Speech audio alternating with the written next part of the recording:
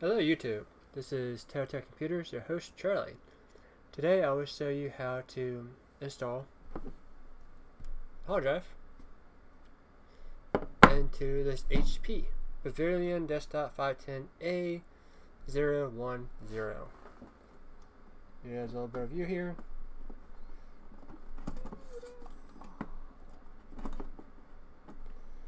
There we go.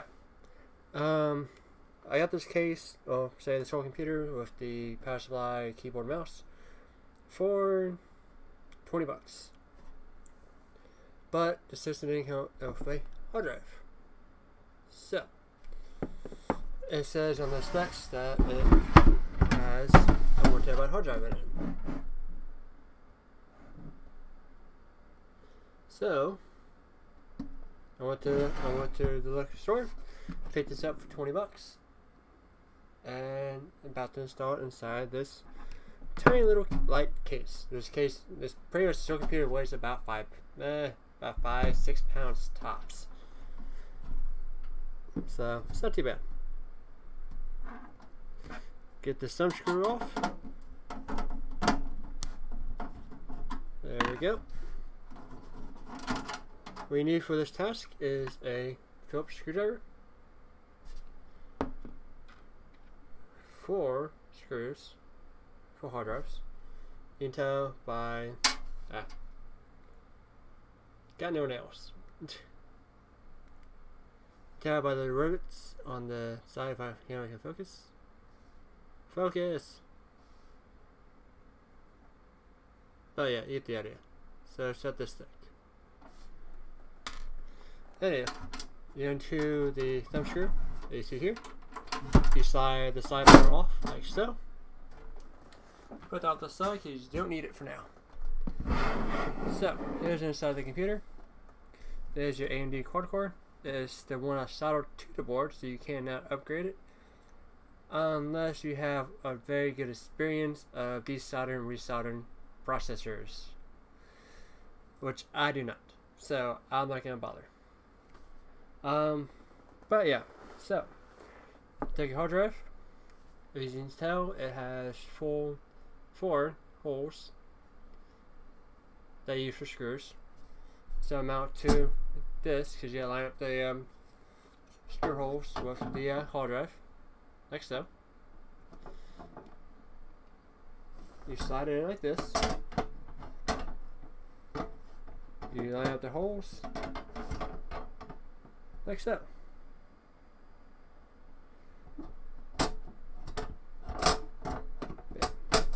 Yeah. You take two screws, do one at a time. You thread them in first.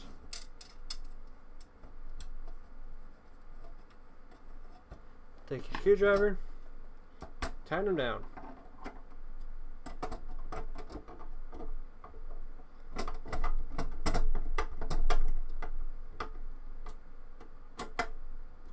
So that now with this particular case, unfortunately, to get to the other two screws is actually inside here. And by the judge of how this thing looks, you can actually take this whole thing out to make it easier. And apparently you need a Torx bit, so give me just a second. grab my little handy dandy tool set. You find those at Walmart. It's like five dollars.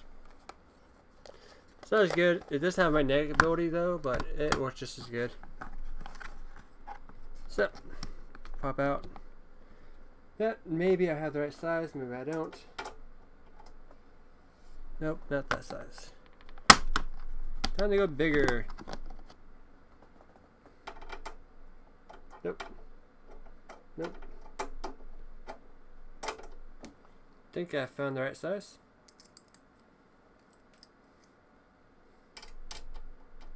Yep. So let's get this side panel out. Just three screws, it's not too bad. The bit I'm using is T10, if anybody's wondering.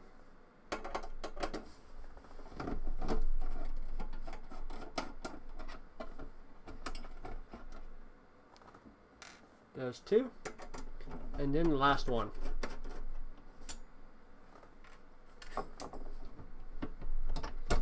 Move the SATA cable out of the way. And voila. Comes out. Now you guys wonder what this is for. I assume this is for an SSD drive or two and a half inch drive. But since we have three and a half inch, we're using this. Now we've got the L2 screws. Put it in your screwdriver, which is mine is magnetic. You fasten down the last two screws to the hard drive. Like so. Yep. Now you can attach your power cable now if you want to. Like so. So you get your so I don't to see this too well. So yeah, you set a cable here. This is your power cable. This is your data cable. You can tell by the difference in size for starters. And the both say and what's really interesting, the both seem like elves. We size back in place. See these little grommets here? They slide in this little hole right here. So you got one on both sides. So you slide that in place, like so. Take your Torx screws and tighten them back down. Since my little screwdriver is not magnetic, I'm going to thread them just a little bit to make it easier. That way I'm not fighting with it, so to speak. And pretty much that's how easy it is to put a hard drive into this HP case. I do suggest having a magnetic screwdriver for Torx, but apparently I don't have that at, at the moment because I'm cheap. That is simple. Yeah, you can go out and buy an iFixit uh, set for, what is it, 20, 30, 40 bucks? Whatever version of set you want. Or you can just a cheap route and get mine for like $5. If you really want to make this magnetic, all it takes is some copper wiring and a 9 volt battery to make it magnetic. It's not that hard. And to do that, you just wrap around the coil, connect both ends to a battery. You can use copper wire, spiegel wire, whatever wire you want to use to make a homemade magnetic, electric magnetic screwdriver. Now once it gets enough magnetic charge, it will stay magnetic for a given amount of time before I have to redo it again. But like I said, it's not that difficult. But there you have it. One terabyte drive installed. Now we now I can reinstall Windows on here. And yeah, and go from there. The only thing I wish this case had was well, not the case, but the board itself, a PCI Express slot maybe for like you know, an added um, well not so much a video card, but for like an expansion card, like maybe an SSD X4 card or something like that. Because this um, motherboard only has two SATA ports, so you can't really add any more drives. So, but like I said, it probably wasn't meant for that. But it's kind of foolish, in my opinion, to have two suspension bays on the back of the case. HP probably does save money, which is cool, but you get the idea. Well, there you have it. Then you go to your side panel, and you line up these little lock pins with the holes on the case, and these will slide in and lock up here. And that is it.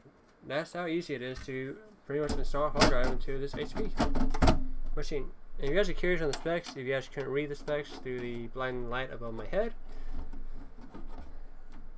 again, there's an HP Pavilion Desktop 510 a010. There's an AMD quad-core A8-7410 processor, 8 gigs of DDR3 low, oh DDR3L, which means low latency, low power. System memory, I know the technical term for it, but I don't remember off the top of my head. Now it has the one terabyte hard drive in it. Finally, it has Radeon R5 graphics built into the processor that sells the same RAM. And also some tray multi super multi DVD burner. So you have multiple options to burn DVDs. Plain and simple. And it has a wireless LAN 802.11a slash b slash g slash n slash ac. Mouthful. And 1x1 and Bluetooth 4.0 M.2 combo. So that's not too bad. I'm not surprised it has A on it because, yeah, is like super freaking old. But it's all good. It's kind of funny. It went from A, B, then skipped C, and then went to F, you know, all those letters, and went straight to G, then eventually straight to N. It's hilarious. So, here's on the front of the panel. You have your SD card reader, two USB ports, headphone jack, and DVD reader. The faceplate was broken when I got the case, but it's, the snap on is actually very hard. It's kind of broken, so I have to get me another one for a different drive. You get the power button. On the back of the case, you have your power supply, fan, or eh, no, it's not a power supply. Sorry, it's exhaust fan, Ethernet, USB 2.0, 3.0, HDMI, VGA. Then you got your microphone, headphone, and line out cable or line in cable ports for all your necessary audio equipment. Doesn't have a whole lot like your normal desktops do, but it works. And then right here is your power adapter plug-in. In my next video with this machine, I'll give you guys a demo of what it's capable of and what it can do. Thanks for watching. You guys take it easy. Peace.